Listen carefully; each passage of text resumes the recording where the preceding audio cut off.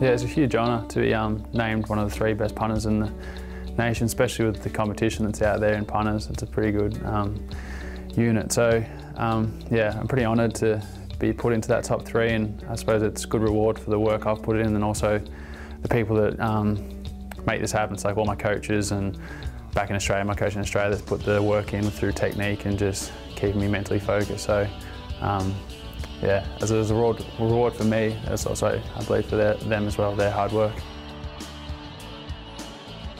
Yeah, I would never imagine that um, six years ago, and never even knew college football existed, like I've said before. So it's been a, um, it's been a kind of amazing journey so far, and one that I hope to continue. But it's, it's yeah, out of this world what's happened, and yeah, I never would have thought I was here growing up playing Australian football. Um, that's always what I wanted to do ever since I was pretty much born. It's, um, that was my love of my life, playing football. So um, to come over and play American football um, and continue that kind of path, it's, it's been fantastic and one I've really enjoyed and like I said, hope to continue.